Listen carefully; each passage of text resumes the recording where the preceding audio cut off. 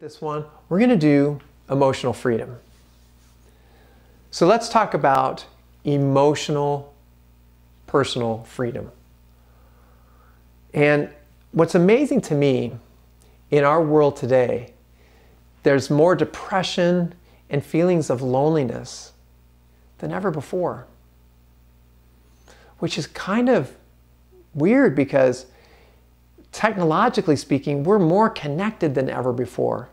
My view is that we're just using the technologies incorrectly. Here's, we're using a technology right here, right now. You know, 15 years ago, this was not possible for us to do this today together this way, this easily. And so, this is a way to stay connected in this technology. So, but yet, connectedness and loneliness and depression are you know, are, you know, the connectedness is going away and people are feeling lonely. And uh, so when I think about that, people are feeling emotionally constrained. So, what does emotional freedom mean? Emotional freedom. And I have to say, emotional freedom of all of these is the toughest one for me. Here I'm being vulnerable and present with you emotional freedom is tough for me. And, and you know, just a little bit, you know, it started, well, it didn't start, but I was, I was a, when I was a kid, I was a really sensitive child, really, really sensitive to people's feelings and emotions. And so very early on, you know, I opened up my heart and I got hurt a lot. And so what happens with that is I got hurt a lot and then I built up these um, barriers. And so, uh, so emotional freedom is tough for me, not just because people think that I'm a very emotional guy. It's great. It's, I'm, I'm, I'm very um, compassionate, which is great. But to really let go of my vulnerable self is really tough for me. So this is one for me that I'm working on, particularly to get that emotional freedom. So what is, what does emotional freedom mean? What does emotional freedom mean? And so go ahead and journal. What does emotional freedom mean? How would you define it? How would you define emotional freedom?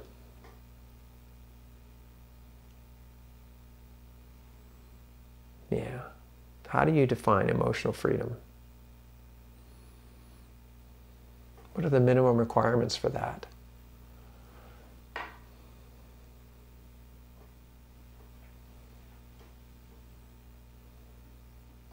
What are your minimum requirements for emotional freedom? Hmm, so good.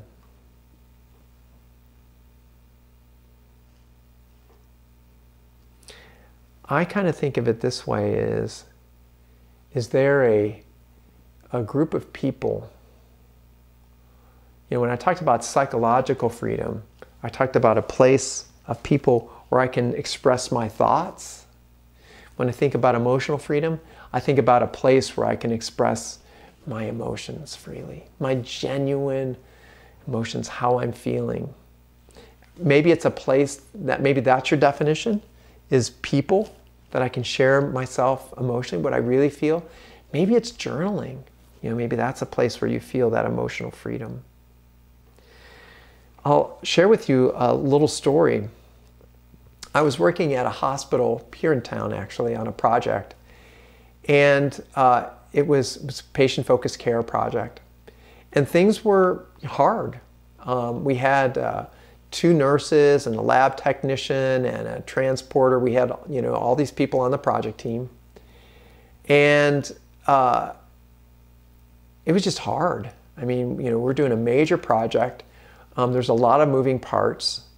And I remember we were having a status meeting and the, the, the lead, I wasn't leading this project, the, the, uh, I was a manager at the time, but an associate partner came in and, and he came in and said, okay, uh, you know, let's talk about progress today. You know, how are you doing? How, how we doing here? How we doing here? How we doing here?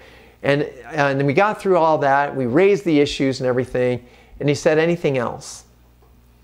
And I, I looked over at, her name was Diane. I looked over at Diane and I said, Diane, how are you feeling? You could hear the, a pin drop in the room. And she said, I'm actually feeling really overwhelmed with everything we're trying to do. I feel like I'm failing. And then she started crying.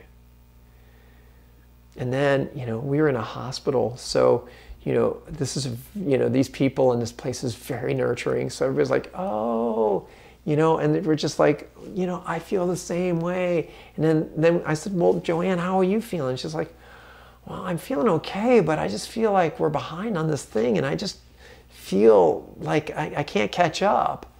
Well, then Mike, how are you feeling? And, and, and Mary Beth, how are you feeling? And Emily, how are you feeling? We went around and everybody like expressed their feelings.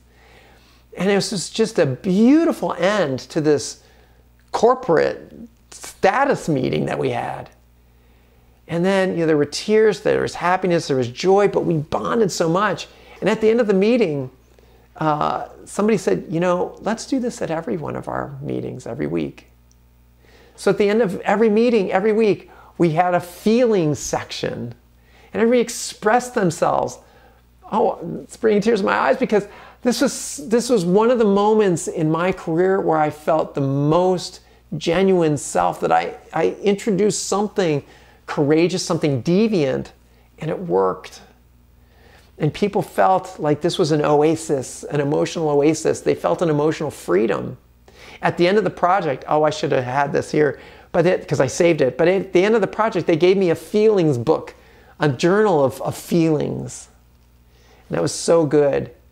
And so that's, that's how I would describe, that's a mini story of where I could feel an emotional freedom. So, what's a discipline to create for developing that emotional freedom?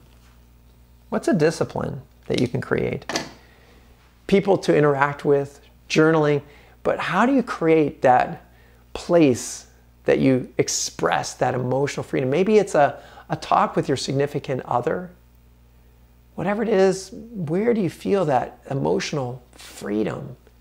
And how do you create a discipline around that so that you can have that every week or every month? Oh, that's so important. For me, one of the things that I do, oh, and you should be writing right now, so journal these things down. Where do you, what's your discipline for emotional freedom? I'm going to share with you one of mine. Is um, for every one of these this curriculum that I develop, I have learning objectives, and I also have emotional objectives. I proactively think about at the end or during during this session and at the end of the session, how do I what's my objective for how you feel during this? And I want you to feel happier. I want you to feel energized. I want you to feel fulfilled. I want you to feel stretched. These are feelings of, of, but I want you to feel lighter too. It's like, yeah, let's go, let's do this. Let me make my significant impact. These are my emotional objectives. And so part of my emotional um, freedom is I draft emotional objectives for all my major teachings and my, my even interactions with significant you know, uh, people. How do I want them to feel at the end of this? This is a, this is a level up, folks. This is a, a level of mastery. You know, if you're in corporate America and you're actually thinking about how do I want people to feel at the end of this meeting? Oh, man, the impact you have just just goes exponential on you. Okay, so that's emotional freedom of discipline. So good, so good, so good. Okay, so uh, one of the things that is my goal is to turn up the emotional heat when I do my blog stories. I videotape, videotape, wow, that's an old term. I, I, I shoot the, uh, uh, all my, my blog posts and I'm really trying to level up my emotion in those. Okay. So then, what is one, put those in the chat, one emotional discipline or a practice that you have that you can share with the rest of the group? And then, what does emotional freedom deliver to you? What's it deliver to you? It probably delivers less stress. It probably, you get to let go of steam. It provides some relief. You feel more vulnerable, safe. Um, you feel present. You feel connected. Man, if we had this emotional freedom, depression wouldn't be so big. People wouldn't feel so um, anxious. Anxiety's through the roof these days. And yet, we have more freedom than any ever before, any generation before us. But maybe that freedom is creating an, an, an angst, an anxiety. And part of that is to whew, be present and have this emotional, find these emotional oases of freedom that we have with each other. So powerful. And in the end, the most important part for me of, of what this delivers emotional freedom is unity. We feel a collective consciousness. We feel our humanity with each other. We feel connected. Oh, that's so important with that emotional freedom.